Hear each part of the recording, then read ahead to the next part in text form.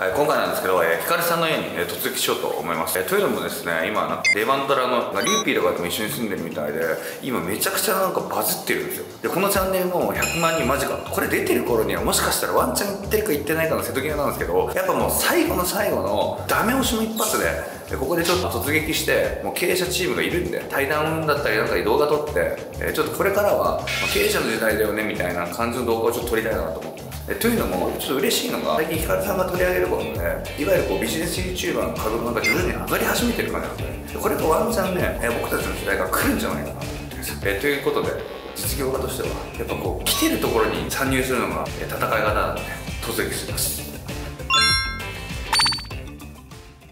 はいということであのヒカルさんの家に突撃してまいりました。よろしくお願いします。ちょっと来させてもらってる映画もうちょっとで100万人来るんですよ、うん、でもまだ行かなくて、うん、最後の最後でなんかもうあと何千人かでいつも止まるんですよ。増えにくいっすから壁がもうあって。一方でなんか最近メキメキメキメキ急上昇とか見るとなんかやっぱたまに乗ってるじゃないですか。はい。ななんでこんないや俺じゃない俺じゃない。いやいやなんかなんかやれば素敵乗るじゃないですか。いつの間にかすごい登録者も増えて。いやいやもうおかげさまで、ね、はい、100万人って言われるとうん えここ短期で何どんぐらいなったんですか？3か月で5万人が12万人になったんで7万人おおはい、3か月はなかなかすごいですよね。で僕びっくりしたのが、はい、あの林さんがキャバクラに行って、うん、パーってやってるあのいつもの、うん、林さんの真髄をもういつも隠してたね 真髄ついにオープンにして、もう林さんのやり方がねないと。もう光さんのチャンネルがいいかなと思って。あもうななんか何かがこう動いて変わってるなみんなと思ってですね。ちょっと僕も進化しないといけないなと思って、はい、あちょっと今日学びに来たんですけど。だけどあのリューピーからねもう聞いてるんだけどもう毎晩そのヒカルさんがこうやったら YouTuber 伸びるって講義してくれてるっていう。本当に？俺も俺もたまに聞くんの？YouTube を伸びるポイントとかその教えを聞いた方がいいね。いやいやそうだね。だから僕すごいよ、ね、大先生だね。いや俺はそのね場面に出くわしたことがなくて、うんそうだからちょっとそれ俺も聞きたいなと思っててえじゃあ美咲さんがどうやったら100万人超えるかあの教えてもらえます？教えてほしいですどうしたらいいですか？そのチャンネルのタイプによるんですけどどういうコンテンツを上げていくのかっていうのはちゃんと明確に僕定めるべきだと思うんですよ。はいはいはい。ブレブレてますからね別にいろんなこと。やっぱいろんなことやってる分、はいはい、その今まで受けてきた曲ってあるじゃないですか、はいはいはい、そこに集中すべきだと思うんです、はいはいはい、だから王子のいいとこが出てる動画が今までどんなんだったのかっていうのを振り返るべきだと思いますなるほど。要は先生。大好きね要は視聴者って今もうたくさんの YouTuber がいる中で、誰かを選んで見るんですよ、今までの従来の YouTuber YouTube って選ぶんじゃなくて流れてるから見たんですよ。はいはいはい昔のテレビと一緒なん。ですよ、お茶の間で流れてるから見るんで、今って選んで見てるんです視聴者が、じゃ選ばれる理由がないと見てもらえないんですはいはいはいでどこで選ばれてるのかっていうところをまず知っとかないといけないです王子の強みですよね。要はどういうところが評価されてるのか。美咲さんのいいところ？いや僕はやっぱり印象残ってるのはやっぱ青汁劇場ですよもうあの時もう歌舞伎町でもう隣の席もあっちの席も全員美咲さんの話してたよ。確かに。もうすごかったよあれは。炎上商法は人生1回しかできないですよ今やってもまたや狙ってるなってバレてるもうやめいやけどあれは本当にすごかったなと思うけどな。あれが美咲さんのいいところどどう思います？やっぱ結局ビジネスだと思うんですよ。そうそうそう局でやっぱりこの頭のいいところ。でなおかつインフルエンサーやってるとこだと思うんですよ。結局ほとんどの経営者の人ってインフルエンサーやってないそうなんですよ。そういう時においてはレアなんですよ。そうなんですここまで有名で、でお金稼いでるっていう、はい、でもやっぱ僕の悩みはいろんな YouTuber とコラボさせてもらったんですけどやっぱそのビジネスの話がこうしないじゃないですか。やっぱ楽しい話になっちゃうから僕自身博物足だし得意なのはビジネスの話なんですだけどやっぱりこう一緒に出る人がいなかったんですよ今までなるほどね。やっぱこう影響力があるビジネス YouTuber って今までいなかったんですよ。それをなんかどうやらここに住むと。養 成されていくと。確かにね。いいつの間にかなんか二人が結構ブイブイ弱してる。俺は何事か大人の YouTube 学校がですよね、はい、だからここでもう養ってもらって力を。ここでコラボさせてもらったりするといろんなつながりができて広がるんじゃないかなと林さんに今日はやっぱお願いがあってきたんです。え？え？え？何？林さんにお願い。します林さん俺さん。え？どういうこと？やっぱ僕林さんのいいとこってあの地味のごとくお金を使うとこだと思うんですよ。はいあの あの瞬間に、はいはい夜の街で。あはい。そこに僕投資できる人ってなかなかいないと思うどうしたんですかね。はい。おおありがとうございます。はい。やっぱああいうところをもっと僕見せた方がいいと思ってて。ひかるさんのチャンネルで出てたじゃないですか、あれ見て俺感動したんですよ。え？本当に。感動？感動したんですよえいや林さんの良さが出てるなと。思ってこれこれじゃないですか？林さんじゃないじゃないですか、確かにね。まあありのままはありのままで。確かに。だからちょっとやっぱある企画を一緒に僕もやら混ぜそうやりたい。なと思ってやりたい。やりたい。企画会議出たんですよ。え？いや林さんとキャバクラに合流ですね合流ですねテイクスタイル。衝撃的な提案で、いやまさかね、あのなんか、45のシーンがこんな大物の心に刺さってる一緒 にお金を使いたい。からなんて太客見るってい。うのはえでもああれ見て感動した人多いと思うよ。誰が感動するんですか結構多くないどんな感性してるんですか？いやあいやだけどあれを見て、あの、連絡をいただいた大物は、あの、三崎社長と、あの、アリシャンですかね。ここに動いたんですね。そう、一緒にキャバクラ行フランチャイズもありかもって思ってもらえたみたいな。まあまあその二人の大物は、そう、だからヒカルさんの影響力がすごいなって思ってます。すごいいなえだから、美咲さんの100万人の最後の一押しは、ぶっちゃけ光る方で一撃でいくんじゃないですか？それはちょっと違う。いやぶっちゃけ行こうとで行くと思う、はい正直僕は王子を本当の意味で掘ってないんですよはおー。要はと三崎優太とは一体どんな人なのかっていうのを僕の中でちゃんと動画してないんですよで美咲さんの本質とか根っこにある部分を僕は掘ってないんですよはいはいはい僕はそれが得意なんですよはい確かにいやだから、あの、そういう企画がないと僕とキャバクラ行ってる場合じゃないと思う。絶対そっちの方がいい。企画会議間違ってないから。僕の視聴者に受けそうですけどねあ、なるほどね。うん。いや、全然それは。夢夢あるじゃないですかついでに、あの、おまけでやりますんで。いい絵が撮れた打ち上げとかに使ってもらえる。そんなもんでいい、じゃあちょっそんなもんでいい。と青白王子番外編を僕撮ってもいいですか？おー。撮ってほしいっすね。はい。はい。僕の場合結構過酷っていうかスケジュール取ってもらうんじゃないいですいいいっすよ。もちろん。か、はい、ああと本当に住んでもらうことになるかもしれないです。あいやいいっすよ。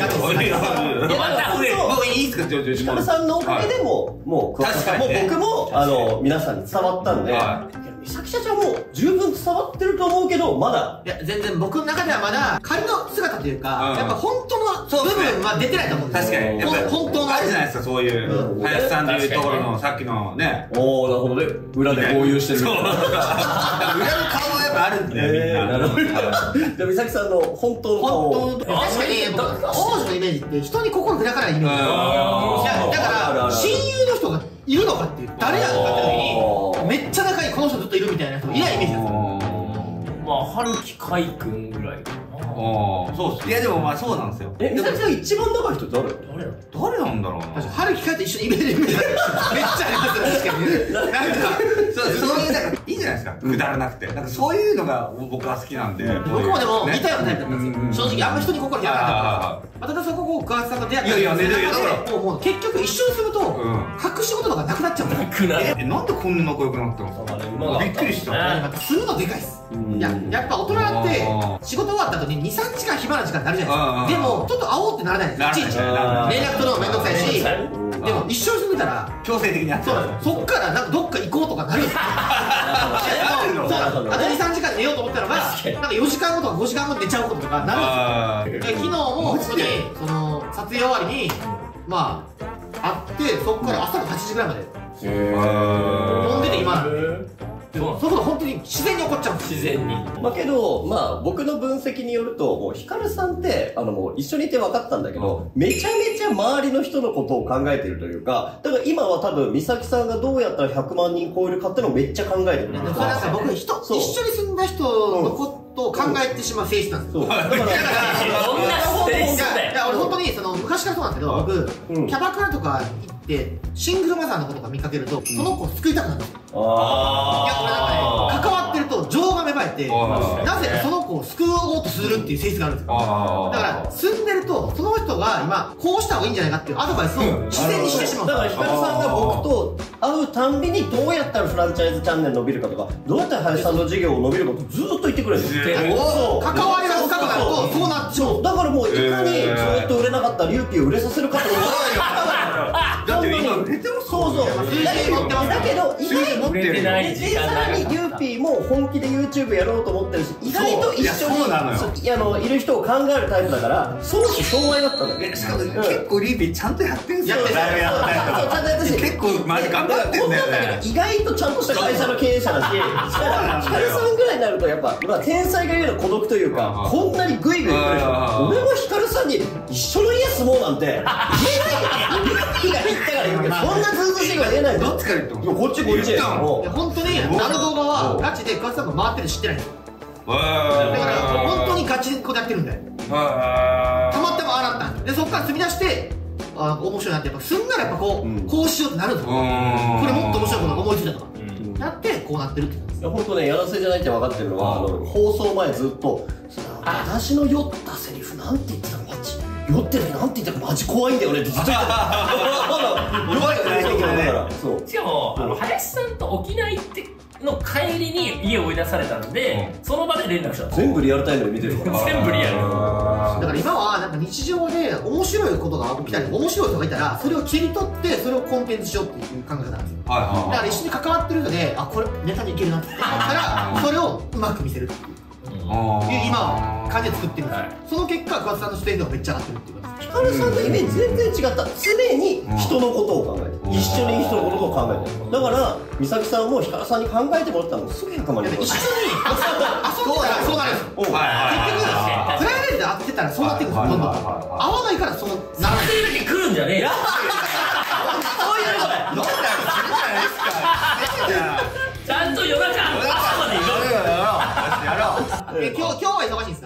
今日は今日は忙しくないような気がしますね。じゃあ今日撮影終わった後にうん。遊びましょうよ。いやじゃあそそこからですよ。まず試しにさらけ出してみよう。今日の予定は？今日はこれ終わったら何だよはい。今日何もないおお面白い個人的な女の子殴るとかもないですか？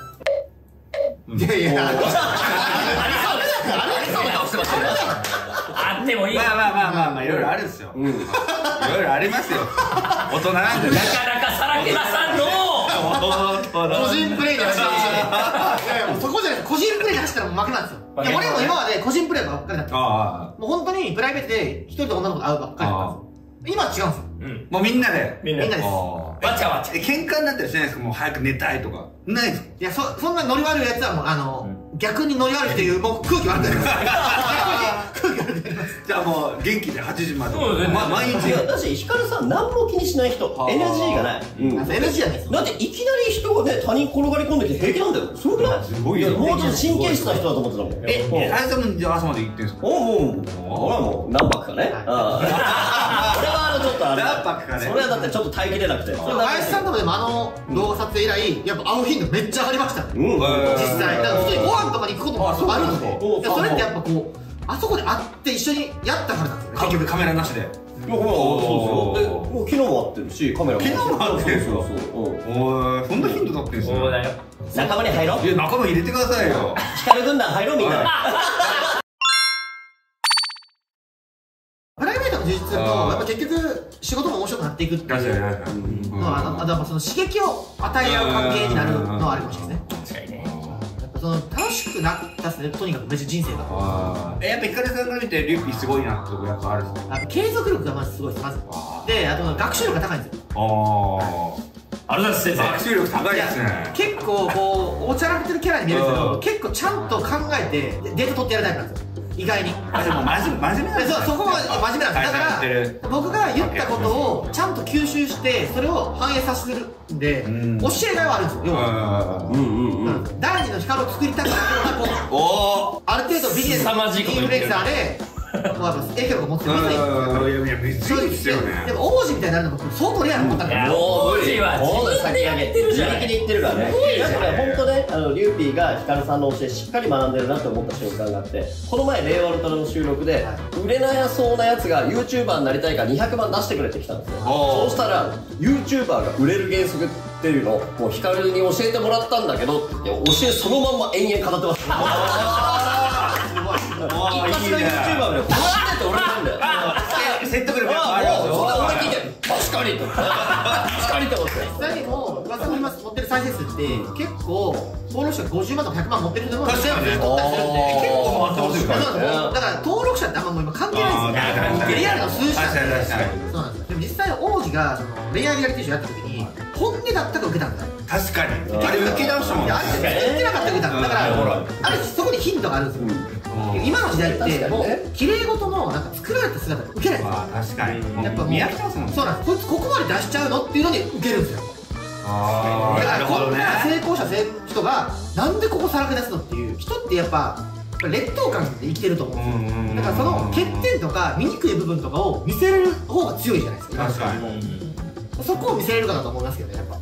そっちの方が面白く見えますよね確かにその方がファン増えますもんね。追い出されたりするから応援した追い出いなって。されてるんだよね追い出されるとやっぱファン増えますよね。まあまあまあまあまあまあそういうことですよね。まあそうね追い出されると増えるってなんだよ。ありのままで生きたい方がまあまあ。まあで絶対でにも、まあ、実際この二人はありのままを出さされたよね。だからその確かに。ヒカル君にもう言ったら俺なんてもうなんか本当家庭なんてもう絶対出したくなかったけど、うんもうなんかもう追い出されたって酔っ払って言ってるのあのブワーって言っちゃったからもういいやみたいな。後に引けねえみたいなでもなんか本当に僕からすると食材は大いに越したことないんですよ。うん。まあ調理する側として 要は我々は食材です。なんか要まなは板の上の恋です。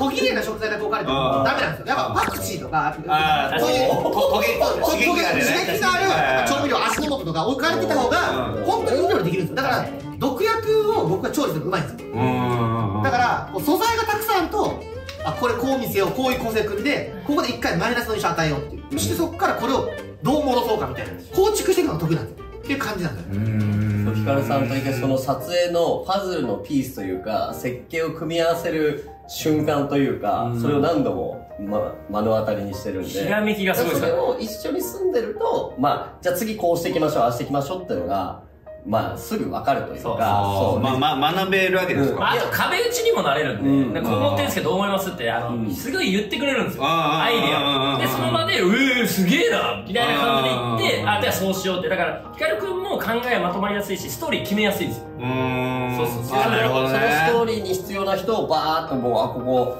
誰呼ばなきゃどうって言ってもでバーって用意するみたいな。そうででみんなもパズルの設計がすごいからもうどんな予定があってもどんな遠方からでも大体駆けつけるか。らそれでまあねね足のことになってうん。ですげえ A 取れるみたいな。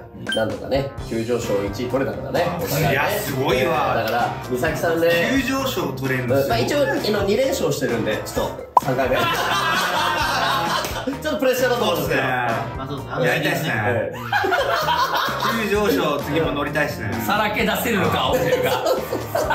結構さらけ出してるね、いやもうね、もうそれをもう、あの、まあ劇場で随分さらけ出結してる。局人のことをうまく見せるのがうまい人ってそんないないんですよ。ないっすよね。わかるはいはいはいで印象を変えれたりするんですよ。ちょっはいはいはいはい。と。それが結果的にいい方向に転がされてるはい。誰よりも一緒にいる人のことを考えてるのがヒカルさんです。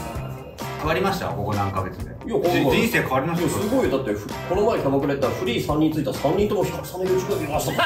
そんなこといや、それやったらね。またキャバクラ令和の虎見てますとか、あの TikTok で見てますとかは、多分3分の1で言われることはあるけど、この3連続ヒカルさん、ヒカルさん、ヒカルさん、ヒカルさんって言われるえやっぱモテるんですかそしたらもう。いや、モテるっていうか逆になんかしっかり見てるとなんか、なんか。じゃあ逆に。いやいやいやいやいやそれだけはちょっと補足いいですはい補足やっぱモテますかってこれ質問されますねみんなね。林はこう言いますいやもともと金使ってたからモテてるし。俺聞いたことあるよ。何回もお金使わずにあの持ってたら報告します。あはい そうですね。あ真面目な話で言うと、いや本当ヒカルさんの、あの、1回目の急上昇1位の時に、僕がハートネイルって一言言っただけで、それに加盟したいっていう人はなんか50人ぐらい応募があったんですよあフランチャイズね。そうそうそう。日本足だけでってやつそう。ねすごいっすねだからそれだけでね、10加盟とか決まっちゃっただけでも数千万のお金で、いや、すごいっすよ。いや、だからそして、もうヒカルさんとの相性も良かったし、ヒカルさんがね、本当に、なんだろう、こうどう自然に皆さんに伝えてくれるかっていうのを常に考えてる。でハートネイルのやつは続編撮ったんですよ。えまだ動画上がってないですけど林さん密着の2本目で一応第3弾第4弾僕考えてるんです林さんの。ー。でもそれぞれの僕はさんの第3弾4弾とか5弾とかまで考えててタイトルはもうメモってまだあるんかい。ああストーリーがあるわけですそうからそうなんです掘っていくっていう。広げていくっていう。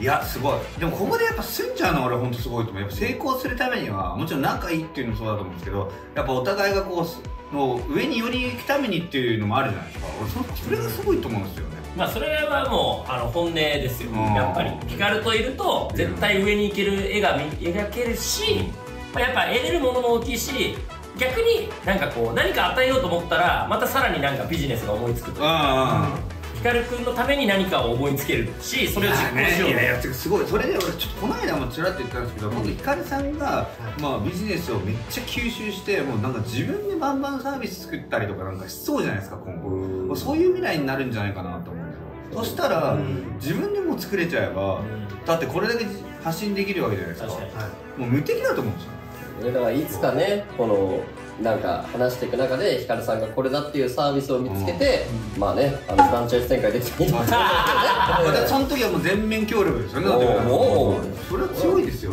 ブレーンとしての逆にありがたいです僕そのビジネスインフルエンサーが。伸びてマーケット的に伸びてほしいなってずっと思ってたんで。だから王子がずっと伸びてるのを見てて令和の虎軍団はずっと王子をこうやって指くわえて見てたから だからそそれぐらいすごいよ頑張っていきたいですね。褒められると弱えな。返しが。弱っ。いや褒められると恥ずかしくなる。なんかちょっと作りましょうよ。うんなん作りたなんかやりたいですねそして企画だけじゃなくてなんかみんなで。でそれはすげえ儲けるとかじゃなくてなんか世の中の人に役に立つようななんかサービスあそれが一番いいと思う。商品でもいいけどなんかそれが一番いい作ったりとか。ね。なんか役に立つようなうんやりたいですねまあみんな本業で儲けてると思うんでまあ確かに。それで儲ける必要ないじゃないですか。それ面白いことやりたいですねまあそれはそうですね。はい。確かに。ということで。4人目のメンバーに。あ同居に4人目？じゃあ同居してください。またあ。の動画撮りましょうじゃ動画撮りましょう。ちょっと賑やかになりそうだね。い。はい だけど結構気にしないタイプ3人って結構多かったよだから神経質じゃ大丈夫。俺え全然気に大丈夫？結構俺気にしないタイプですよ。結構いびきうるさい人とかいても大丈夫。大丈夫。です僕アフリカとかで生活できる確かに。いいよ